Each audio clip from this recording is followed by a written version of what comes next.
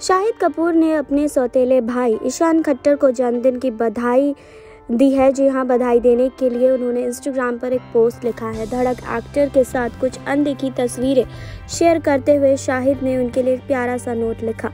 उन्होंने लिखा कि बड़े, छोटे भाई की तरह से जन्मदिन की शुभकामनाएँ मैं तुमसे बहुत प्यार करता हूँ और तुम ये जानते हो। भगवान आपको आशीर्वाद दे और आप ऐसे ही शाइन करते रहें जैसे मैं जानता हूँ कि आपकी खूबसूरत सोल करती है।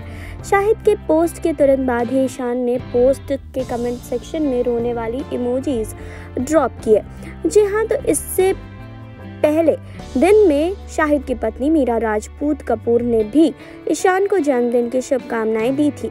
आपको बता दें कि मीरा ने अपने इंस्टाग्राम हैंडल पर ईशान की एक तस्वीर पोस्ट की और पोस्ट के कैप्शन में उन्हें प्यार करने वाला तीसरा पहिया और सबसे अच्छा चाचू भी कहा।